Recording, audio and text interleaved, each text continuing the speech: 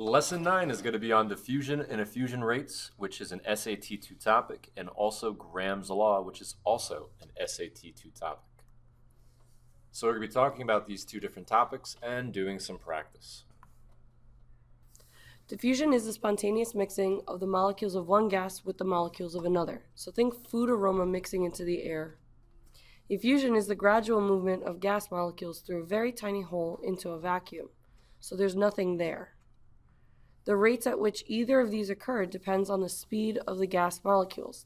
The faster the molecule moves, the more rapid it diffuses. So if you look at these two pictures, on the left you see diffusion, so it's one gas mixing into another gas. So again, think like the food aroma coming from the kitchen. On the right, this is an example of effusion. Notice that the gas particles are moving through a tiny little hole into a vacuum. A vacuum is a space that contains no matter. This would be a terrible situation for effusion if you were in a spaceship and there's a little tiny pinhole in the window of your spaceship. All of the gas inside of the spaceship will eventually get sucked out into outer space, leaving you incredibly cold and very dead. Stand by.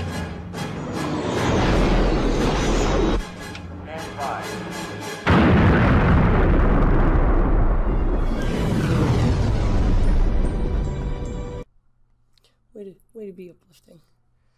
So Graham's law was invented or defined by the Scottish chemist Thomas Graham, and he studied the rates of diffusion and effusion through various different methods.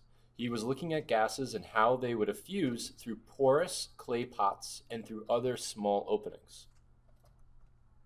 Comparing the different gases at the same temperature and pressure, Graham found that the rates of effusion were inversely proportionate to the square roots of the densities of the gas.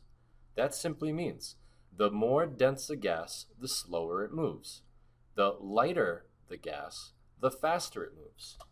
So if you were to think about the difference of neon and helium when you look at their masses, helium is very light in comparison to neon. So therefore, it will escape at a faster rate than neon. Graham's law is the formula in the bottom right hand side, which you should be writing down. It is very important that you know what this formula is. So bromine has two isotopes with masses of 78.9 and 80.9 respectively. What is the expected ratio of the rate of effusion for bromine 81 compared to bromine 79? The way that you're going to set this up is that you're going to assign gas A to what you're looking for, which is bromine 81. And then gas B would be the comparison you're making, which would be bromine 79. So if you notice on the bottom of the screen, we have effusion rate of A, which is bromine 81, divided by effusion rate of B, which is bromine 79. Under the square root, you invert that ratio with their molar masses. Use the molar mass of the numbers given in the problem. If more specific molar masses are given, then use the most specific mass. So the first thing you have to do is 78.9 divided by 80.9. It will give you an answer. That answer, you then find the square root, and you should get 0.99 in this situation. That is the answer for Graham's law that we are looking for. But what does this number mean? When your answer is greater than 1.0, that means that gas A will effuse at a faster rate than gas B. When your answer is less than 1.0, the rate of gas A will effuse slower than the rate of gas B. Gases with a higher molar mass or a higher GFM will move more slowly, while gases with a lower density and a lower molar mass move faster. This is a very key important point to Graham's law and diffusion effusion. So we can anticipate that bromine 81 would effuse uh, would effuse slower than bromine 79 because of its original mass. Notice that it is less than 1. Now if we flip the ratio and try to find this for bromine 79, we end up with 1.01, a number greater than 1.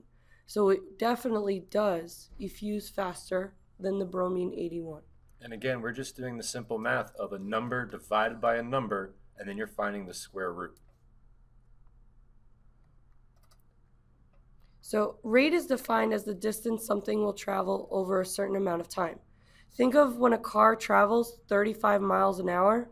This is telling us that in one hour, the car will travel 35 miles if it doesn't change its rate. The rates of the gas is calculated using Graham's law of effusion gives us a similar understanding. Because of our understanding of rate, to calculate for the speed of a compared gas, you take the time of the gas given in the question and divide it by the rate of the other gas. The rate of the other gas must first be calculated using Graham's law. So, what is the relative rate of diffusion for SO2 compared to NO2? If the NO2 took 43.2 seconds to fuse, how long will SO2 take? So the first thing you're going to be doing is finding the rate of SO2 using Graham's law. Since we're looking for the rate of SO2, we can say that SO2 is gas A. The other thing we have to do right away is figure out what is the molar mass or GFM of SO2 and NO2. Those are the first things we have to do. So for step one, let's first figure out our basic formula. The diffusion rate of gas A, SO2, the thing we're looking for, over the diffusion rate of gas B, which is NO2. We then are going to write our square root sign with a little fraction in the middle because that's where our molar masses are going to go. Don't forget, the gas A is going to be your denominator, while gas B, its mass is going to be your numerator. You plug in your masses, and you'll notice you're going to have 46.0 over 64.1. That answer you find the square root of. When you do that, you should get 0.85 for gas A. This means that gas A, which is sulfur dioxide, will diffuse at a slower rate because the value is less than 1.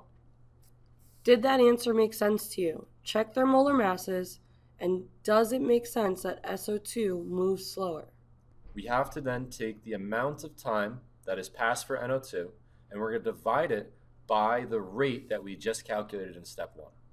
So again, we take 43.2, which we get from the question.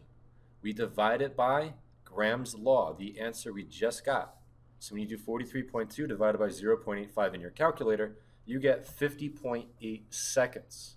The reason why this is in seconds is because the original time was in seconds.